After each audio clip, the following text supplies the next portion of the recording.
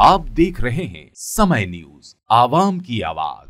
सर्व आदिवासी समाज के लोगों ने बघानजूर क्षेत्र के रेंगा वही गाँव में लिया बैठक, जिसमें लगभग तेईस गाँव के महिला, पुरुष, युवक, युवतियाँ, सामाजिक कार्यकर्ता, ग्राम प्रमुख, पटेल, गैता, जनप्रतिनिधि, सरपंच, जनपद सदस्य, वार्ड पंच जैसे लोग बड़ी संख्या में शामिल हुए। एक जून को छत्तीसगढ़ के मुख्यमंत्री भूपेश बघेल के आगमन के बारे में चर्चा करते हुए क्षेत्र की समस्या को मुख्यमंत्री को अवगत कराने की बात रखी।